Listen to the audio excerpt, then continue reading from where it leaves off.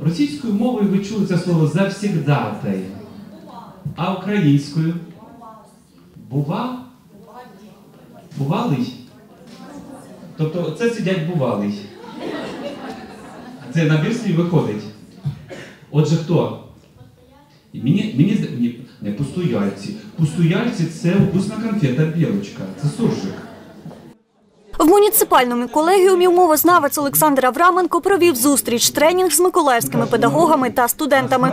Філолог, автор понад 50 підручників та посібників з української мови, літератури, лауреат всеукраїнського конкурсу Учитель року, теле та радіоведучий присвятив майстер-клас культурі мовлення. Зокрема, Олександр розповів, як можна його покращити.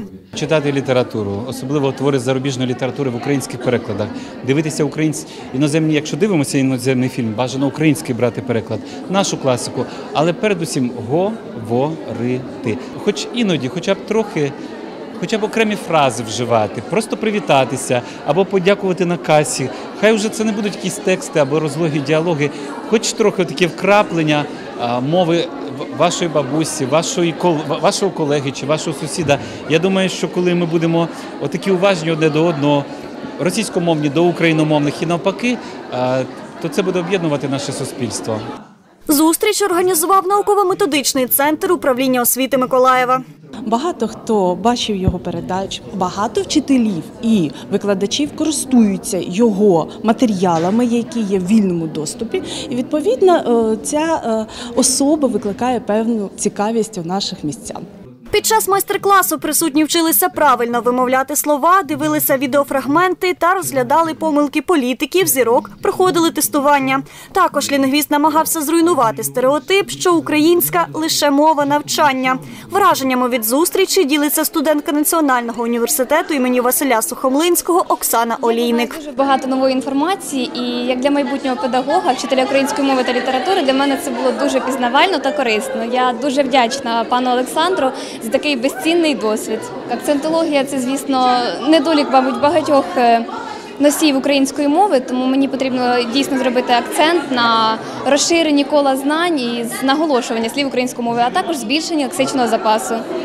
А от вчитель української мови школи номер 56 Віталій Ісай говорить, в повсякденному житті зазвичай спілкуються російською. Сьогодні в міжнародний день рідної мови зробив виключення. Ось зараз приїхав, е, їхав в маршрутці, то коли спілкувався українською мовою із колегою, е, у водія було якесь здивування, він навіть е, нервувався.